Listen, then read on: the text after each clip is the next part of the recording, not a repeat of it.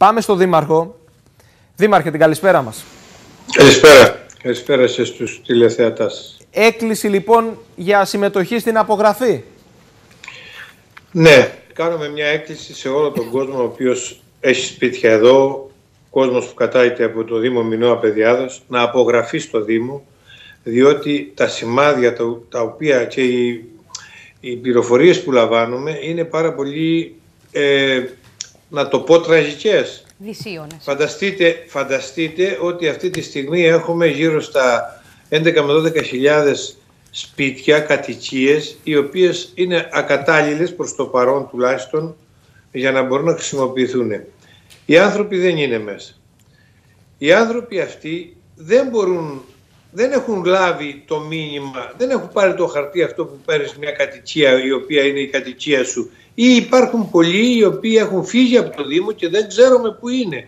Εκτός από αυτούς του οποίους έχουμε σε ξενοδοχεία, που έχουμε σε σκηνές, που έχουμε σε τσίσκους, που έχουμε καταγράψει, υπάρχουν άνθρωποι οι οποίοι έχουν πάει σε άλλες πόλεις, μένουν με συγγενείς τους και δεν τους ξέρουμε. Ε, η μείωση, η μείωση του πληθυσμού κατά 8.000 που αναφέρατε σε προηγούμενη δήλωσή σας, κύριε Δήμαρχε, ναι. τι μπορεί να σημαίνει για το Δήμο σας; Τεράστια προβλήματα, τεράστια. Το μεγαλύτερο πρόβλημα είναι τα οικονομικά. Ξέρετε ότι όλοι οι Δήμοι αυτή τη στιγμή λαμβάνουν κάποια ενίσχυση από το κράτος. Είναι η ΚΑΠ, η κεντρική αυτοτελή πόρη. Αυτή η πόρη είναι ανάλογα με τον πληθυσμό.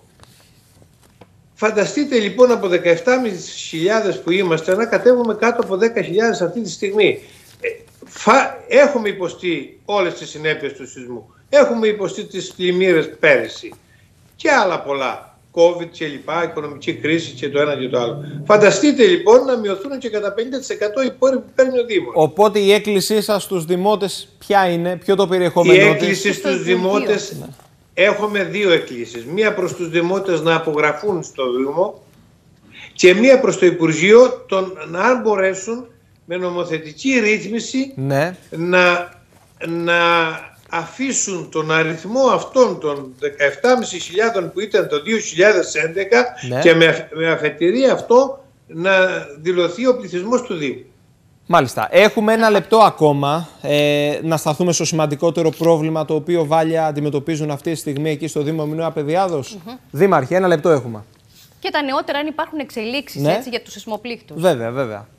Δήμαρχε. Εξελίξεις είναι ότι περιμένουμε αυτή τη στιγμή ε, ακόμα ε, οι τσίσκους οι οποίοι δεν μας έχουν έρθει όλοι ναι. και μας, μας κόβουν και όλα συνέχεια. Ήδη μου έχουν κόψει από τις 90-25 και αυτοί που περιμένω δεν έχουν έρθει. Οι άνθρωποι είναι ακόμα σε ξενοδοχεία. Θα μπορούσαμε τουλάχιστον με τους Ιτσίσκους να έχουμε καλύψει ένα έξοδο τεράστιο που είναι για το Δήμο η στέγαση. Γιατί είναι ένα τεράστιο Μάλιστα. Ε, έξοδο. Και έρχονται και, και Χριστούγεννα. Και έρχονται και Χριστούγεννα, αναφέρει η Βάλια Ιμπούη, βέβαια. Εγώ ανεβαίνω στην Αθήνα την Πέμπτη. Ναι. Θέλω να δω τι ενίσχυση θα πάρω οικονομική ώστε να μπορέσω τουλάχιστον, τουλάχιστον να καθαρίσω τις πόλεις τις μεγάλες από τα υλικά που έχουν πέσει στους δρόμους, από τα τζάμια, για να μπορέσουμε τουλάχιστον να κάνουμε ανθρωπινές γιορτές. Δήμαρχε, οπότε αυτό. βέβαια, απόγευμα Πέμπτη θα τα ξαναπούμε να δούμε και το αποτέλεσμα των συναντήσεών σας. Να σας ευχαριστήσω πολύ.